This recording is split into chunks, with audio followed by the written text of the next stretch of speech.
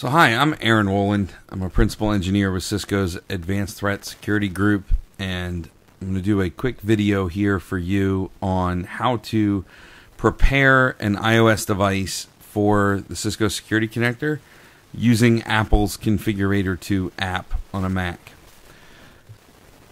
So, the solution is to use the Apple Configurator 2 app on Mac OS, so an iMac, a MacBook Pro, a MacBook, whatever, something that runs Mac OS with the Apple Configurator 2 app to configure an iOS device that is plugged in with a USB to Lightning cable uh, or you know USB-C to Lightning cable or whatever you need for your iOS device running 11.3 or above on iOS and you're going to create blueprints and then apply these blueprints to the device. And we'll explain why and what that means. But we have to convert the device over to being supervised, tell it what organization is controlling the device, and then join it up to the MDM. And then the MDM takes care of all the rest as you've seen in the other demos.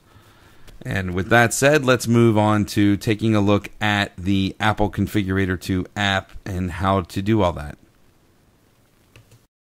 Within the Configurator 2 app, we click Blueprints, Edit Blueprints, then click New in the bottom left.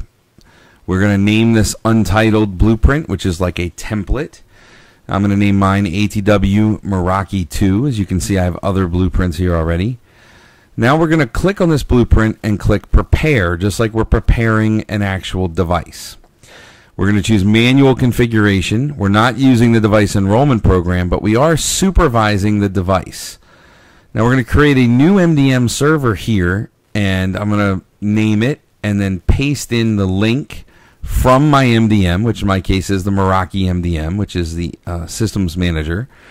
I'm going to paste that in from the tool so that this device will connect automatically and enroll. We click next. It's going to pull down the certificates. We accept those certificates by clicking next. And we have to tell it an organization. The organization is basically defining, you know, what is controlling this device. If it asks you for DEP, click skip because we are not using DEP. Now we put in information about the organization that is controlling or owning this device. In my case, Cisco ATS TMEs, my fake phone number, my super secret fake email, maybe even a fake address. We're going to generate a new supervision identity. This is for that organization itself, and you can put that identity on the server if you start to use DEP or other server services. You can choose what steps to display to the end user to make things faster, choose only specific steps or give them all of the steps. Right? If you don't want them to have to go through display zoom or region or keyboard, touch ID, you can pick these individual things that you do want your end users to experience when they actually connect or, or open the device for the first time, if you will, and try to use it for the first time because they're still going to get that setup assistant in the beginning. And then we click prepare to prepare this blueprint. And, um, you know, we have to allow the certificate to be trusted if that props up, right? And we should be ready to go now for the device. Okay, so now we've connected the device.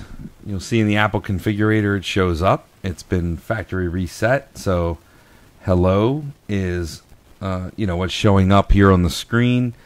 And what I've done is I've tried to share the screen using QuickTime so on the left hand side, we've got the configurator, and on the right hand side, we've got a screen sharing happening for the device itself. Okay, and so what we're going to do then is highlight the device. We are going to right click on the device. We are going to apply the blueprint.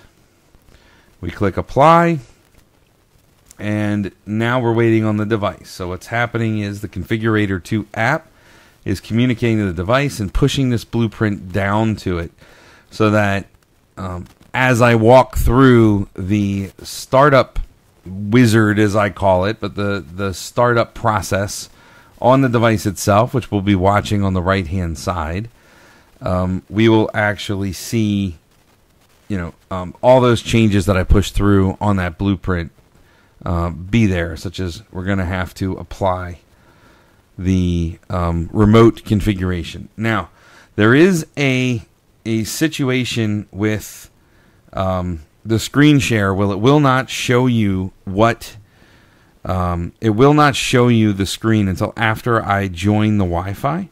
So I'm going to join the Wi-Fi right now, as it does not want to show that. I'm assuming for uh, privacy concerns, it won't let you share the um, Wi-Fi password on the screen share like that. So let me get that done. Okay. Um, now that uh, we've put in the Wi-Fi password, the next thing that shows up is the data and privacy screen. Um, we're just going to click continue to go through that. And you get this screen that now says remote management. And you'll see here it says Cisco ATS TMEs, which is what I named that organization, if you remember. And um, this is basically stating that the this organization of Cisco ATS TMEs is allowed to administer this account. So we click on Apply Configuration and we click Next. And now this is going to join it to the Meraki MDM in my case, or whichever MDM you've used. Now we get to the Touch ID, which I'm going to set up later. Okay, don't use Touch ID. Create a super secret terrible password that you should never use because it's super easy to guess. But since I'm on a video here, I'm going to use a password that I would never use in real life. Okay, so now as I'm setting up my Apple ID, um, I have it configured to use two factor authentication because naturally you should use two factor authentication um, as a security best practice. To black that out in the video. And now we are continuing with the setup. may take a few minutes. So, you know, we've applied the blueprint. The phone could then be shipped to the employee, right? And then the employee takes the phone out of the box and starts going through the steps that you just saw me go through, right? So this is them putting in their Apple ID, them agreeing to the device supervision and being managed by the MDM right? And it's it's all ready for the employee, or if they're you know, hopefully you would use the DEP program, the device enrollment program, which has now been uh, upgraded to the Apple Business Manager, and all of this would happen behind the scenes for the employee uh, instead of ha- you having to manually convert the device to supervised using the Apple Configurator 2 app, but the purpose of this video is to show you how to use this app because we use it a lot in our pilots and uh, um, you know, demos and so forth. So now, um, you know, location services. I'm not going to use iCloud Keychain. I am going to customize the home button later. I'm going to pick the standard view and move next on this device, and we're all ready to go. Device is done because it's joining the MDM. Any minute now, we should see the MDM uh, push down some apps right? Um, assuming that the MDM is configured for that. So, which the MDM is configured because I just saw the Meraki MDM app show up, and the Cisco Security Connector app should be next.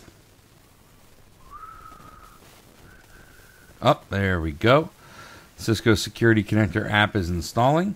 It is now installed if we actually go look at our device management Meraki profile, we'll see here the DNS proxy setting in the profile, which is the actual setting for Umbrella, and the web content filter setting, which is the clarity setting.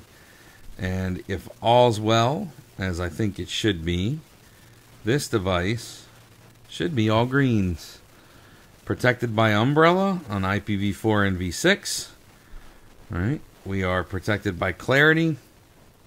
All right. Uh, IPv4 and IPv6. And we are set.